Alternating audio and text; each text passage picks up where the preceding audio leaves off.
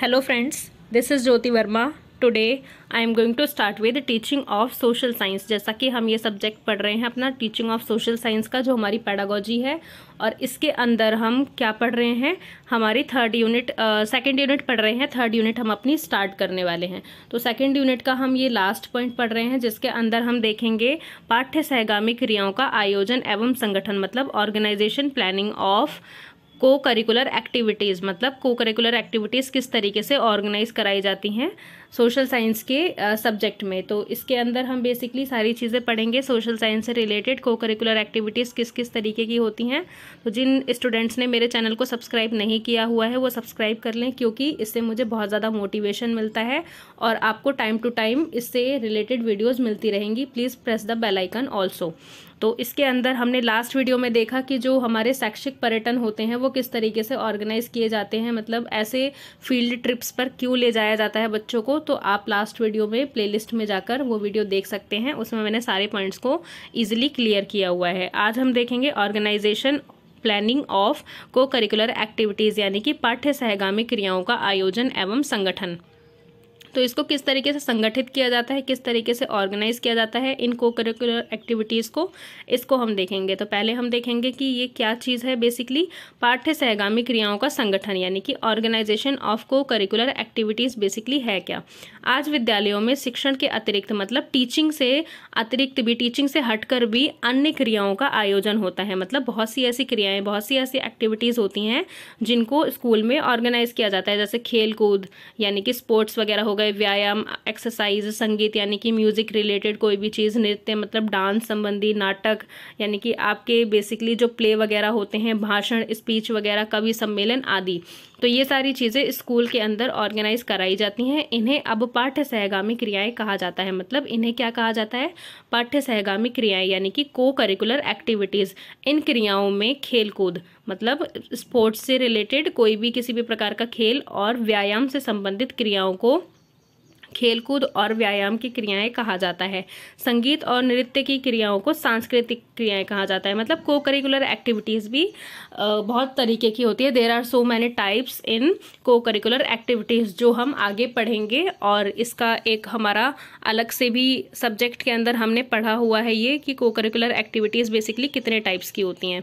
तो इसमें देखेंगे पाठ्यक्रम, यानी कि जो हमारा करिकुलम है, उसके साथ साथ अन्य क्रियाएँ जिसमें, जिसके द्वारा बालक का सर्वांगीण विकास संभव हो मतलब उसका ऑलराउंड डेवलपमेंट हो पाठ्य सहगामी क्रियाएँ कहलाती हैं। तो ये क्या कहलाती हैं? को करिकुलर एक्टिविटीज़ आगे हम देखेंगे पाठ्य सहगामी क्रियाओं का महत्व, यानी कि importance of co curricular activities तो इसका क्या महत्व है? इसके महत्व को देखेंगे हम कुछ सेवन पॉइंट्स में, जिसमें फ़र्स्ट है, कुशल नागरिक जीवन का परीक्षण प्रशिक्षण मतलब जो एक इसके अंदर बच्चों को ट्रेनिंग मिलती है कि उनकी जो स्किल्स हैं, नागरिक जो वो एक तरीके से है, वो एक कुशल नागरिक बन सके, उनके अंदर अच्छी स्किल्स डेवलप हो और उनके जीवन में इसके लिए बेसिकली इन को करिकुलर एक्टिविटीज़ से एक तरीके से वो ट्रेंड होते हैं।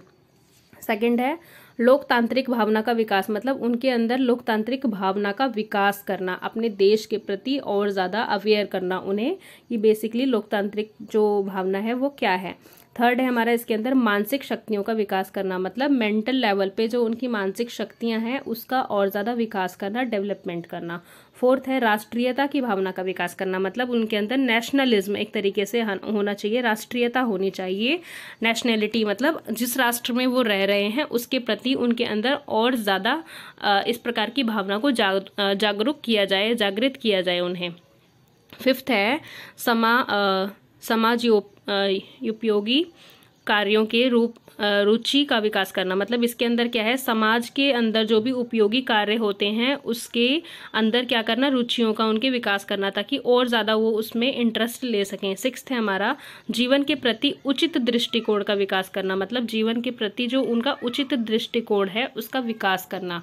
सेवन्थ है, व्यक्तित्व का विकास करना। मतलब उनकी पर्सनैलिटी को डेवलप करना। पर्सनैलिटी डेवलपमेंट उनकी होनी चाहिए। तो कुछ ये सेवन पॉइंट्स हैं, जिसके अंदर हमारे जो ये हमारे को करिकुलर एक्टिविटीज़ के अंदर आते हैं और इसीलिए को करिकुलर एक्टिविटीज़ कराई जाती हैं।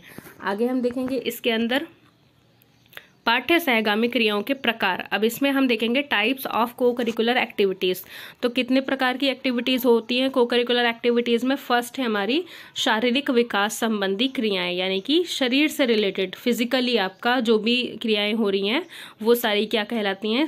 शारीरिक विकास संबंधी क्रियाएँ, यानी कि खेलकूद, दौड़, व्यायाम, योग आसन, कुश्ती, तैरना, जिम्नास्टिक आदि, ये सारी चीज़ें क्या होती हैं? शारीरिक विकास संबंधी क्रियाएँ होती हैं। सेकंड है, सांस्कृतिक क्रियाएँ, यानी कि संस्कृति से रिलेटेड कोई भी एक्टिविटी अगर स्कूल में कराई जा रही है, जैसे संगीत, नृत्य, और उसके बाद जयंतियाँ, उत्सव, पर्व, लोकगीत, लोक नृत्य मतलब जो आपके फोक सॉन्ग्स होते हैं फोक डांस होता है, ये सारी चीज़ें जो होती हैं, ये सांस्कृतिक क्रियाओं में आती हैं, यानी कि आपकी कल्चरल एक्टिविटीज़ सेवन्थ है सॉरी थर्ड है हमारा इसके अंदर मानसिक क्रियाएँ मतलब मेंटल लेवल पे जो भी आपकी एक्टिविटीज़ होती हैं, वो किस तरीके की होती हैं? जैसे कि आँसू भाषण, उसके बाद कविता, प्रतियोगिता, चित्र व कथाओं के शीर्षक निकलवाना आदि। तो ये क्या होती हैं? आपकी इसके अंदर मेंटल एक्टिविटी बहुत ज़्यादा इंक्रीज होती है। फोर्थ है हमारा इसके अंदर सामाजिक क्रियाएँ मतलब सोशल लेवल पे कौन कौन सी क्रियाएँ होती हैं? समाज सेवा शिविर, समाज सेवा क्लब मतलब ये सोशल एक्टिविटीज़ होती हैं। सोशल एक तरीके से सोशल वर्कर के रूप में आप इसमें काम करते हैं, जैसा कि समाज सेवा करना, इसके शिविर लगाना, ऐसे क्लब्स लगाना सहकारी संस्थाएँ होती हैं इसके अंदर, जैसे कि एन होते हैं, पर्व पर कुछ किसी भी पर्व पर समाज सेवा आदि। तो इसमें बेसिकली क्या है? सामाजिक क्रियाएँ हैं। फिफ्थ है साहित्यिक क्रियाएँ। मतलब आपके साहित्य से रिलेटेड क्रियाएँ कौन कौन सी होती हैं? वाद विवाद प्रतियोगिता हो जाती है विचार गोष्ठी हो जाती है, उसके बाद पत्रिका प्रकाशन मतलब आप किसी भी पत्रिका को, किसी भी मैगजीन को पब्लिश कराने हैं बाल सभा है, निबंध लेखन प्रतियोगिता होती है, कहानी लेखन प्रतियोगिता होती है, नाटक लेखन होती है तो ये सारी बेसिकली क्या होती है, आपके साहित्य से रिलेटेड जिसको साहित्य का ज्ञान होता है, वो इसमें पार्टिसिपेट करता है और जिसको नहीं भी होता, वो भी पार्टिसिपेट करके इसमें नॉलेज गेन कर सकता है। नेक्स्ट हम देखेंगे पाठ्य सहगामी क्रियाओं के संचालन में कठिनाइयाँ मतलब डिफ़िकल्टीज़ क्या क्या आती हैं ऐसी ऑर्गेनाइजिंग करने में। Difficulties in organisation of co curricular activities तो इन एक्टिविटीज़ में क्या क्या कठिनाइयाँ आती हैं वो हम देखेंगे कुछ फोर पॉइंट्स में। तो फ़र्स्ट है हमारा इसके अंदर पाठ्य सहगामी क्रियाओं के संचालन में साधनों का अभाव एवं वित्त का अभाव बना रहता है। मतलब आ, ऐसा होता है कि जब भी आप कोई बड़ा प्रोग्राम ऑर्गेनाइज करते हैं तो उसमें आपके लिए साधन जो भी आप उसमें यूज़ कर रहे हैं या फिर आपके लिए वित्त मतलब आपके लिए फाइनेंस का क्या होता है उसकी प्रॉब्लम आ जाती है क्योंकि फाइनेंस इतना होता नहीं है वित्त का अभाव होता है। इसे दूर किया जाना चाहिए। सेकेंड है प्रायः अधिकारीगण इन क्रियाओं के संचालन में अधिक रुचि नहीं रखते हैं। मतलब जो आ, आ, संचालन में क्या करते हैं वो अधिक रुचि नहीं रखते वहाँ के अधिकारीगण। रुचि ना होने के कारण क्या होता है, इनका व्यवहार व दृष्टिकोण असहयोगी हो जाता है। मतलब वो उसके अंदर कोई सहयोग नहीं कर पाते।